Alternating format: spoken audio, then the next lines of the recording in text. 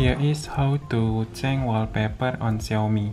If you want to change your wallpaper, you can use from here, gallery. On gallery, you can select your photo like this. If you want to make this photo a wallpaper, tap here in three dot icon, set as wallpaper like this. In here you can see tab to view more wallpaper. You can download from themes from here themes app go to wallpaper and then you can download from here.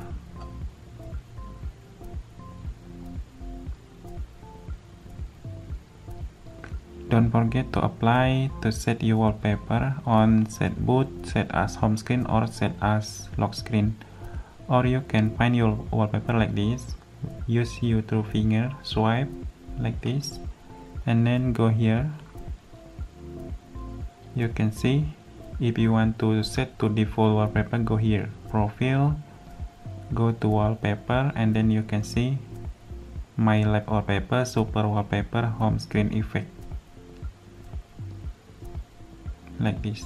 Apply and then set as Thank you for watching my video.